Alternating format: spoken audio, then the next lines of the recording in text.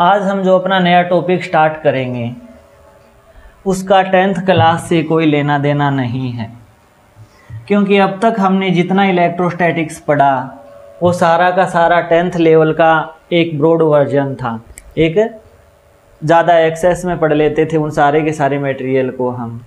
अब से हम पढ़ने वाले हैं कि हमें इलेक्ट्रिकल फ़ील्ड तो पूछा जाएगा, लेकिन वह इलेक्ट्रिकल फ़ील्ड किसी पॉइंट चार्ज के कारण नहीं पूछा जाएगा। वह इलेक्ट्रिकल फ़ील्ड ये कह दिया जाएगा कि एक लाइन चार्ज है, उसके ऊपर चार्ज पूरा पूरा डिस्ट्रीब्यूटेड है। यानी एक कंडक्टिंग रोड दे दी, जिसके ऊपर चार्ज भरा हुआ है। अब बताओ क्या होगा। बट कुलम्स लो तो हमने सिर्फ़ पॉइंट चार्जेस के लिए अप्लाई किया है। तो हम इलेक्ट्रिकल फ़ील्ड कैसे निकालें? हमें ये कह दिया जाएगा, एक रिंग है रिंग के कारण इलेक्ट्रिकल फ़ील्ड बताओ। ये कह दिया जाएगा, एक सॉलिड स्पीयर है स्पीयर के कारण इलेक्ट्रिकल फ़ील्ड बताओ। बट हम तो इतना पहले भी पढ़ के आ चुके हैं, जितने भी हम फॉर्मूले अप्लाई करते हैं, वो सारे के सारे फॉर्मूले पॉइंट चार्ज के लिए वैलिड होते हैं। कभी भी डिस्ट्रीब्यूटेड चार्ज के लिए वैलिड नहीं होते। तो सबसे पहले तो हम ये देख लेते हैं कि चार्ज किस किस टाइप से डिस्ट्रीब्यूटेड हमें मिल सकता है।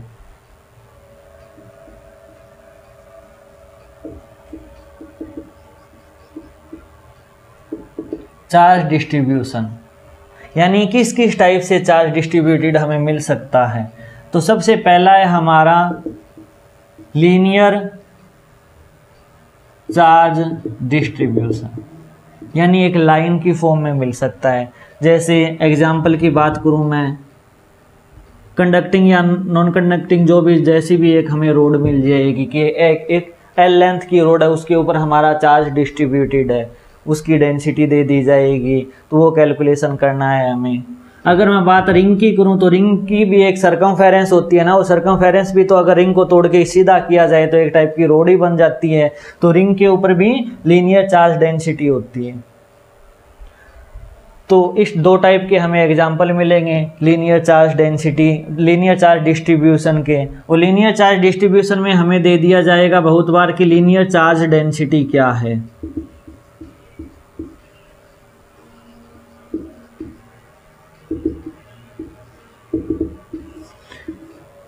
लीनियर चार्ज डेंसिटी अब तक हम डेंसिटी पढ़ते हैं कि मास अपॉन वॉल्यूम हमारा डेंसिटी होता है। तो वो हमारी मास की वॉल्यूमेट्रिक डेंसिटी होती थी कि मास पर यूनिट वॉल्यूम कितना है। तो यहाँ पर हमारी डेंसिटी चार्ज की डेंसिटी ले रहे हैं, वो भी एक लाइन की फॉर्म में ले रहे हैं। तो लीनियर चार्ज डेंसिटी को हम लैम्डा से रिप्रेजेंट करते हैं। जैसे उसको हम डी से डेंसिटी रिप्रेजेंट कर देते हैं या फिर रो से कर देते हैं वॉल्यूमेट्रिक डेंसिटी को। तो लीनियर चार्ज डेंसिटी को हम लैम्डा से रिप्रेजेंट करते हैं। वो लैम्डा का वैल्यू होता है कि टोटल चार्ज कितना था, या फिर टोटल चार्ज को मैं कैपिटल क्यू से लिखूं डिवाइडेड बाय उसकी लेंथ कितनी थी। आपको कह दिया जाएगा कि एक एल लेंथ के ऊपर लेंथ एल और उसके ऊपर चार्ज क्यू है? तो पर यूनिट लेंथ के ऊपर कितना चार्ज हुआ? तो total charge divided by total length हमारा यूनिट लेंथ का चार्ज आ गया। तो वो बात होती है ये।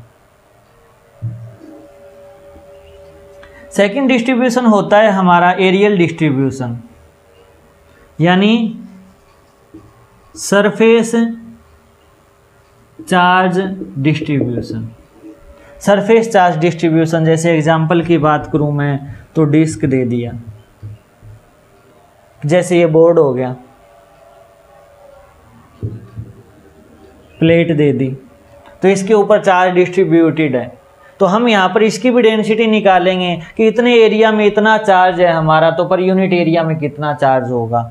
तो इसकी भी एक डेंसिटी होती है कि एरियल चार्ज डेंसिटी, जिसको सिग्मा से रिप्रेजेंट किया जाता है, वह होता है total charge divided by total area यानी पर यूनिट एरिया के अंदर कितना चार्ज है हमारा। ये होता है पर यूनिट लेंथ का चार्ज और ये होता है पर यूनिट एरिया के अंदर कितना चार्ज है हमारा। थर्ड हो गया हमारा वॉल्यूमेट्रिक चार्ज डिस्ट्रीब्यूशन एग्ज़ाम्पल की बात करें कि स्पीयर दे दिया। कि सॉलिड स्पीयर है, उसके अंदर पूरे में भी चार्ज भरा हुआ है। तो उस चार्ज डिस्ट्रीब्यूशन को लिखेंगे हम। तो इसमें हम लिखते हैं कि वॉल्यूमेट्रिक चार्ज डेंसिटी को। वॉल्यूमेट्रिक चार्ज डेंसिटी को रो से रिप्रेजेंट किया जाता है और इसका मतलब होता है total charge divided by total volume तो ये हमारी तीसरी डेंसिटी होगी। यानी चार्ज एक पॉइंट ऑब्जेक्ट पॉइंट पार्टिकल की फॉर्म में न आकर वह चार्ज हमारा लीनियर चार्ज डेंसिटी बन सकता है एरियल चार्ज डेंसिटी बन सकता है और वॉल्यूमेट्रिक चार्ज डेंसिटी बन सकता है। तो लीनियर की फॉर्म में लीनियर डेंसिटी होगी एरियल की फॉर्म में एरियल डेंसिटी होगी और ये वॉल्यूमेट्रिक डेंसिटी होगी। आपको इन तीन बातों को याद रखना है फ़र्स्ट सेकंड और थर्ड अब हम बात करेंगे कि हमें किस टाइप के चार्जेस मिलेंगे, किस किस टाइप के ऑब्जेक्ट्स मिलेंगे, उनके कारण इलेक्ट्रिकल फ़ील्ड की वैल्यू कितनी होती है, उन डेरिवेशंस की।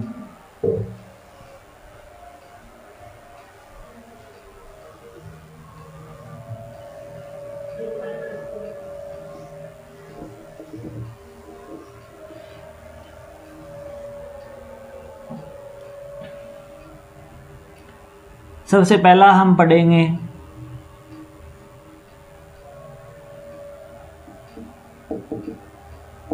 रिंग का केस, कि एक रिंग है जिसकी रेडियस ए है। इसका सेंटर ओ है।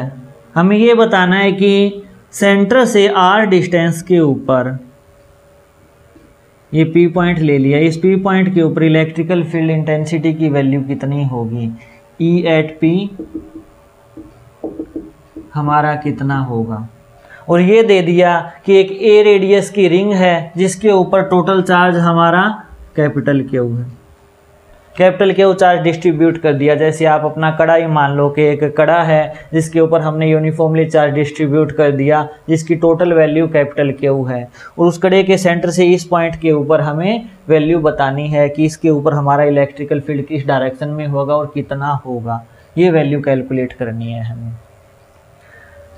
अब हमारा लास्ट हम जब तक इलेक्ट्रिकल फ़ील्ड इंटेंसिटी पढ़ते आए हैं लास्ट लेक्चर में जो हमने पढ़ा था, वो तो ये था ना कि एक पॉइंट चार्ज के कारण इलेक्ट्रिकल फ़ील्ड इंटेंसिटी होती है के इंटू उस पॉइंट का चार्ज डिवाइडेड बाय उसकी डिस्टेंस का स्केयर बट यहाँ पर तो हमारा चार्ज यूनिट हमारा पार्टिकल तो नहीं है, एक पॉइंट चार्ज तो नहीं है, बिल्कुल डिस्ट्रीब्यूटेड चार्ज है. तो इस टाइप की स्टडी के लिए हम हमेशा एक छोटा सा पॉइंट मानते हैं. हम ये मानेंगे कि इस रिंग के ऊपर एक छोटा सा पार्ट हमारा ये है। हमने एक डीएल लेंथ का पार्ट मान लिया, जिसका चार्ज डी क्यू मान लिया। क्यों? कैपिटल क्यू तो पूरे पे चार्ज है ना? तो छोटे से पार्ट के ऊपर छोटा सा चार्ज हमने डी क्यू मान लिया। अब डी हमारा इतना छोटा पॉइंट है कि इसको हम पॉइंट ऑब्जेक्ट मान सकते हैं। बहुत छोटा पार्ट है, मैंने तो फिर भी वाइडली दिखाया इसको। डी का मतलब होता है बहुत माइन्यूट सी चीज़। डिफरेंशियल जो स्टडी होती है ना, बिल्कुल माइन्यूट चीज़ अप्रोक्सीमेट इक्वल टू ज़ीरो उसका साइज़ तो वही approximate equal to zero size का मतलब एक छोटा सा पॉइंट मान लिया, यानी यह एक पार्टिकल के तरीके से बिहेव होगा. और एक पार्टिकल के कारण, एक पार्टिकल चार्ज डी क्यू के कारण किसी डिस्टेंस पे तो इलेक्ट्रिकल फ़ील्ड हम निकाल ही सकते हैं. तो हम क्या करेंगे कि इस डी क्यू चार्ज के कारण, इस पी पॉइंट के ऊपर एक इलेक्ट्रिकल फ़ील्ड निकालेंगे. इलेक्ट्रिकल फ़ील्ड हमारा इसी डायरेक्शन का होगा। वह निकाल लिया हमने डी ई ये एंगल मान लिया हमने थीटा है। यह एंगल तो हर जगह थीटा ही होगा, क्योंकि एक कौन टाइप मान लो ये सेप तो डी क्यू चार्ज के कारण पी पॉइंट के ऊपर इलेक्ट्रिकल फ़ील्ड इंटेंसिटी की डायरेक्शन ये थी जिसकी वैल्यू डी ई थी। और डी ई वैल्यू किसके बराबर हुई? के इंटू वह छोटा सा चार्ज डिवाइडेड बाय यह डिस्टेंस और यह डिस्टेंस हम मान लेंगे कि जो डिस्टेंस थी, ये ए है, ये आर है तो हाइपोटेनियस की वैल्यू क्योंकि ये 90 डिग्री का एंगल है ना तो हाइपोटेनियस की वैल्यू होगी ए स्केयर प्लस आर का स्केयर तो आर स्केयर यहाँ पर करेंगे तो A square plus R square value आ जाएगी. थोड़ी कॉम्प्लिकेटेड स्टडी है एक बार मैं फिर आपको समझा रहा हूँ कि एक रिंग दे दी जिसके ऊपर चार्ज हमारा कैपिटल क्यू है। पी पॉइंट पे हमें इलेक्ट्रिकल फ़ील्ड इंटेंसिटी की वैल्यू फाइंड करनी है। तो इस पी पॉइंट के ऊपर इलेक्ट्रिकल फ़ील्ड इंटेंसिटी टोटल के कारण डायरेक्ट तो लिख नहीं सकते, क्योंकि हमारा जो ये फॉर्मूला आता है, यह फॉर्मूला एक पॉइंट ऑब्जेक्ट के लिए यानी एक पार्टिकल के लिए वैलिड होता है। तो हम सबसे पहले इसका एक छोटा सा पॉइंट लेंगे, जिसके ऊपर चार्ज मान लिया हमने डी के चार्ज मान लिया एक छोटे से पॉइंट के ऊपर। और उस पॉइंट के कारण इलेक्ट्रिकल फ़ील्ड निकाल लिया, ये निकल गया। अब हम ये भी पढ़ते आए हैं कि अगर इसके दो कंपोनेंट तोड़े तो एक तो होता है बेस का कंपोनेंट एक होता है परपेंडिकुलर कंपोनेंट ये थीटा एंगल है तो ये एंगल भी हमारा थीटा होगा। और थीटा एंगल का बेस वाला कंपोनेंट क्या होता है? डी ई कोस थीटा होता है। और परपेंडिकुलर कंपोनेंट क्या होता है? डी ई साइन थीटा होता है। ठीक है जी, यहाँ तक समझ में आ गई बात। अब आपको एक बात और समझनी है। वो दूसरी बात ये है कि जो हमने रिंग के ऊपर एक छोटा सा पार्ट लिया है, जिसको हम पॉइंट ऑब्जेक्ट की स्टडी मान सकते हैं, उस पार्ट के जस्ट अपोजिट में भी तो एक पार्ट होगा ना। वही डीएल लेंथ का जस्ट इसके अपोजिट मैंने एक पार्ट ले लिया, जिसके ऊपर भी तो चार्ज डी क्यू होगा, क्योंकि यूनिफॉर्मली डिस्ट्रीब्यूटेड है। जितना इस लेंथ के अंदर चार्ज है, उतना इस लेंथ में चार्ज होगा डी क्यू इसके कारण इलेक्ट्रिकल फ़ील्ड इस साइड था तो इसके कारण भी तो इलेक्ट्रिकल फ़ील्ड अपवर्ड डायरेक्शन में होगा। लो जी, इसके कारण भी इलेक्ट्रिकल फ़ील्ड अपवर्ड डायरेक्शन में आ गया डी ई क्योंकि डिस्टेंस भी सेम है चार्ज भी सेम है तो इलेक्ट्रिकल फ़ील्ड की वैल्यू भी सेम होगी डी ई एंगल ऊपर वाली साइड थीटा था तो नीचे वाली साइड भी तो थीटा ही एंगल होगा क्योंकि परपेंडिकुलर और बेस, परपेंडिकुलर और बेस दोनों ही सेम है तो एंगल भी हमारे सेम होंगे। अब क्या करना है आपको? ये थीटा एंगल है तो ये एंगल भी तो हमारा थीटा हुआ ना। इसका भी तो एक बेस का कंपोनेंट होगा और इसका भी एक परपेंडिकुलर कंपोनेंट होगा। तो इसका बेस का कंपोनेंट मान लिया डी ई कोस थीटा। और परपेंडिकुलर कंपोनेंट मान लिया D E sine theta confusion हो रही है। एक बार फिर से समझ सकते हो, क्योंकि इस टाइप की स्टडी अब तक आपने की नहीं है इलेक्ट्रोस्टैटिक्स में, कि पहले हमने ऊपर का एक छोटा सा पार्ट लिया। इस पार्ट के कारण पी पॉइंट के ऊपर हमने इलेक्ट्रिकल फ़ील्ड माना डी ई जिसके दो कंपोनेंट कर दिए हमने बेस का कंपोनेंट और परपेंडिकुलर कंपोनेंट फिर हमने नीचे का छोटा सा पार्ट माना जिसका इलेक्ट्रिकल फ़ील्ड डी इस डायरेक्शन में जिसके दो कंपोनेंट कर दिए, एक बेस का कंपोनेंट और एक परपेंडिकुलर डायरेक्शन में कंपोनेंट अब हमने देखा कि component in Y direction cancelled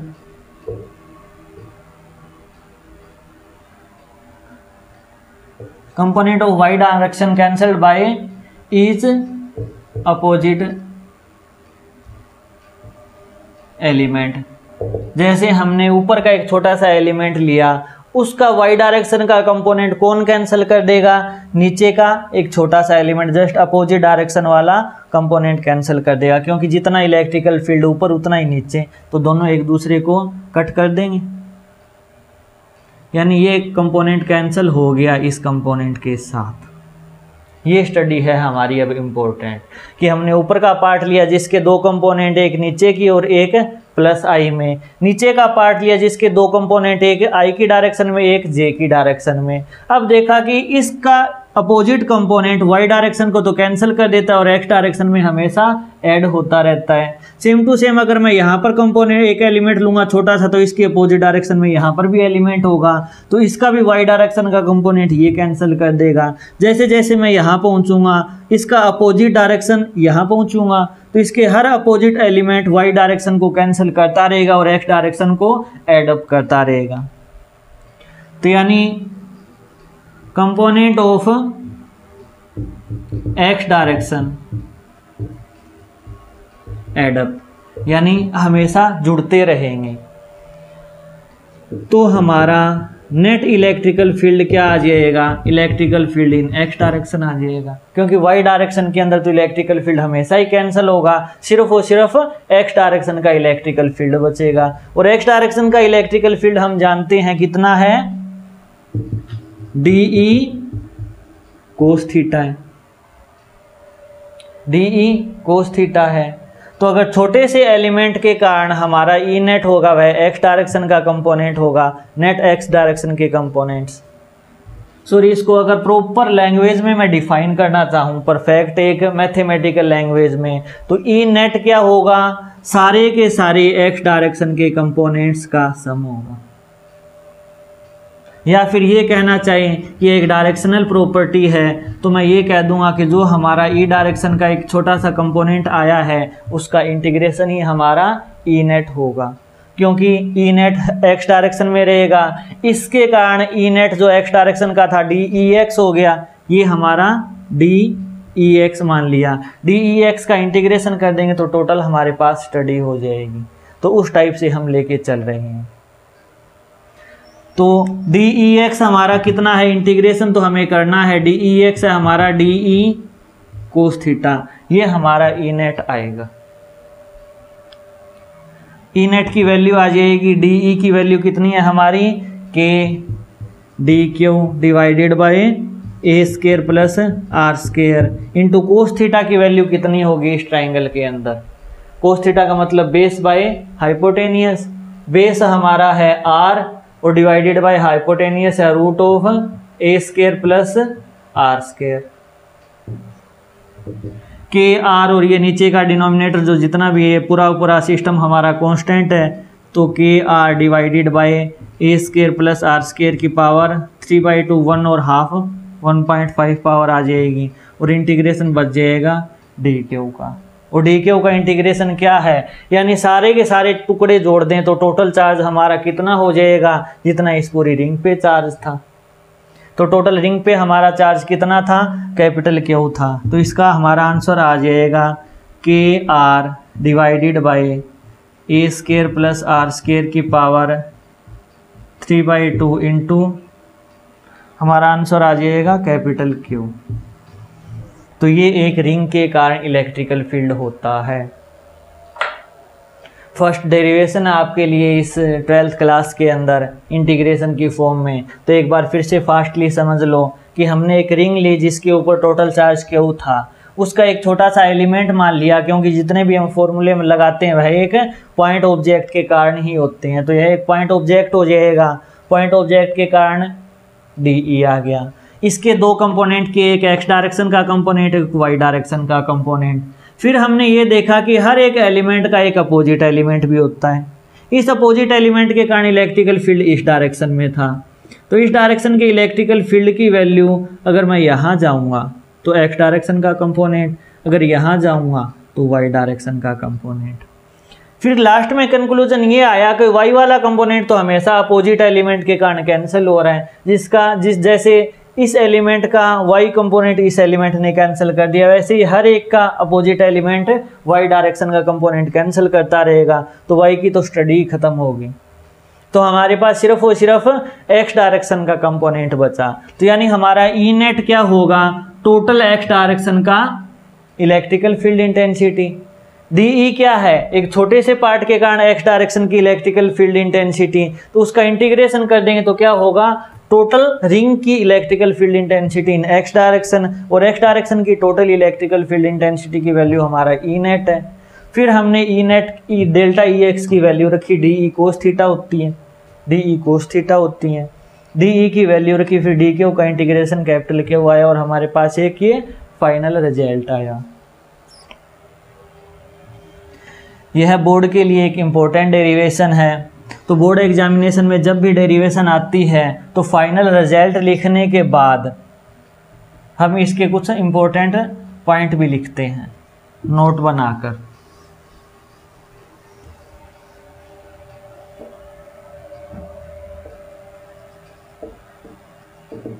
important point first point है हमारा कि अगर ए की वैल्यू या फिर जो हमने आर डिस्टेंस ली थी आर डिस्टेंस की वैल्यू बहुत छोटी होती ए के कंपेयर में रेडियस के कंपेयर में हमारे आर डिस्टेंस की वैल्यू बहुत ज़्यादा कम होती।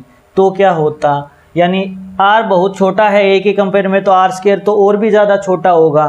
तो यानी आर स्केयर को मैं नेगलेक्ट कर सकता हूँ, सिर्फ़ ए स्केयर बचेगा। तो हमारा इलेक्ट्रिकल फ़ील्ड कितना रह जाएगा? ई नेट हमारा K R Q divided by A की पावर थ्री रह जाएगा। तो ये हमारा एक फ़र्स्ट रिज़ल्ट आ गया। दूसरा, अगर आर की वैल्यू बहुत ज़्यादा बड़ी होती है के कंपेयर में तो हम ए को नेगलेक्ट कर देते। ई नेट कितना आता?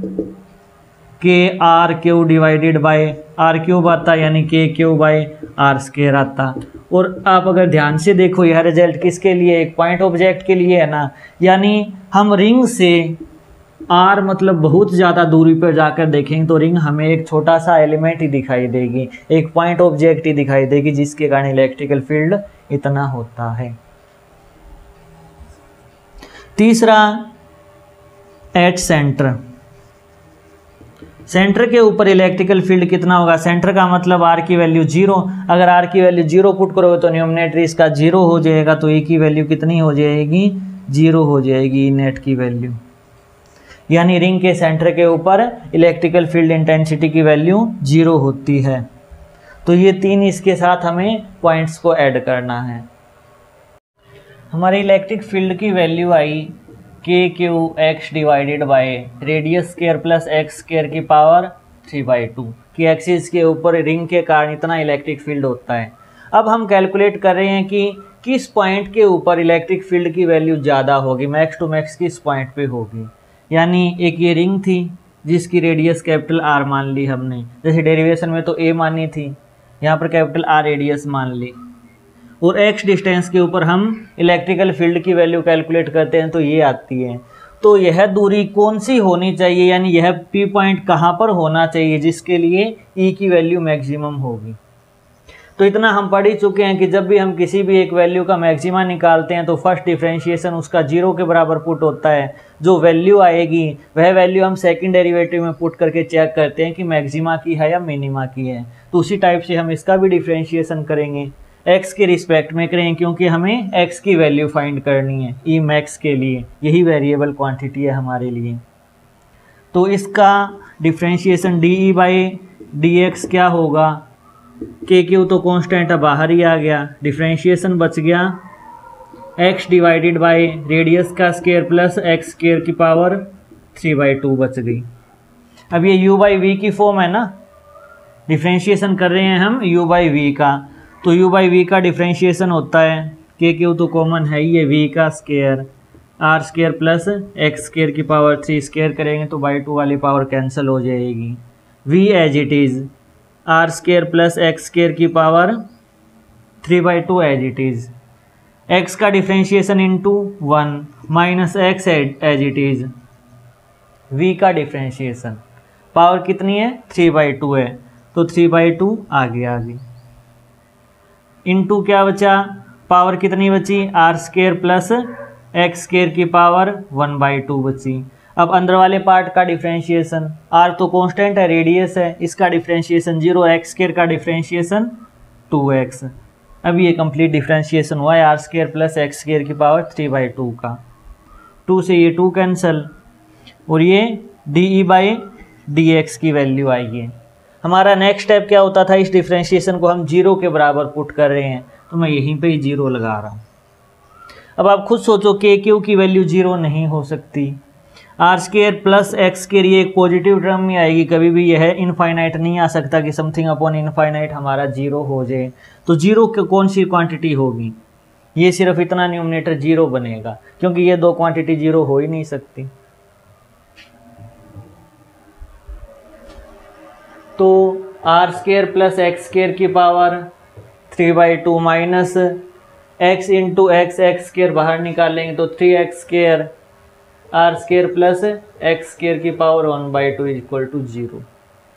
इसमें से अगर r square plus x square की पावर हाफ़ अगर कॉमन निकाला जाए तो r square plus x square बच गया यहाँ पर, क्योंकि 1.5 पावर है ना, डेड पावर है। आधी बाहर आ गई तो एक बच गई।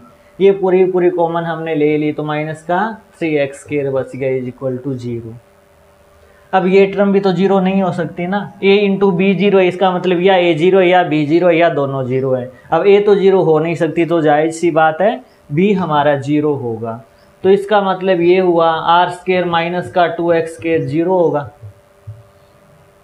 तो एक्स की एक्स स्केयर की वैल्यू आ गई r square by two x की वैल्यू आ जाएगी plus minus r by root two अब हमारे पास ये दो वैल्यू आएगी एक पॉजिटिव और एक नेगेटिव वैल्यू अब हमारा दूसरा काम क्या है? हम इसका दूसरा डिफ्रेंशिएशन करेंगे। सेकंड डिफ्रेंशिएशन में पुट करके देखेंगे कि कौन सी वैल्यू हमारी नेगेटिव बन रही है, कौन सी पॉजिटिव बन रही है। तो आप चेक करके खुद देख लेना। R by root two x is equal to plus I r by root two के लिए डबल डेरिवेटिव नेगेटिव आएगा। तो नेगेटिव का मतलब यह वैल्यू हमारी मैक्सिमा के लिए होगी और माइनस वाली मिनिमा के लिए होगी। तो e max at the rate x is equal to plus का आर बाई रूट टू होता है। यानी मैक्सिमम वैल्यू ई की आर बाई रूट टू पे होती है। उससे पहले कम होती है, उसके बाद भी कम होती है। और एक्स की वैल्यू अगर इनफाइनाइट कर दें तो नीचे का, नीचे इसकी अगर की जाए तो पावर ये अप्रोक्सीमेट थ्री के ऊपर डिपेंड कर रहा है ना। तो इनोमिनेटर से डिनोमिनेटर के ऊपर ज़्यादा डिपेंड करेगा, इससे जाने के बाद। तो इसका ग्राफ भी बुक में दिया हुआ है कि इलेक्ट्रिक फ़ील्ड सेंटर के ऊपर तो ज़ीरो ही रहता है। ज़ीरो से x is equal to r by root two r by root two यहाँ तक तो बढ़ती है वैल्यू यहाँ पर मैक्सिमम हो जाएगी और फिर वैल्यू घटनी स्टार्ट हो जाएगी और घटती घटती इनफाइनाइट के तरफ़ जाकर ज़ीरो मानते हैं हम। सेम टू सेम यह ग्राफ इस साइड किया जाए तो minus r by root two के ऊपर क्या होगा? मिनिमम होगा तो यह ग्राफ सबसे नीचे आएगा, फिर घटना स्टार्ट हो जाएगा। तो इस टाइप का हमें ग्राफ भी मिलता है। ये ई मैक्स है। और ये नेगेटिव मैक्स का मतलब ई मिनिमम मान सकते हो वैल्यू तो ये हमारा इसका एक ग्राफ बनता है।